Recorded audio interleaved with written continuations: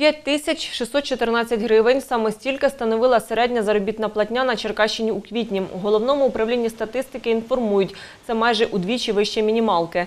Найбільше платили працівникам Державного управління і оборони, соціального страхування, фінансової діяльності, виробництва транспортних засобів, хімічної продукції, пластмасових виробів та фармацевтики.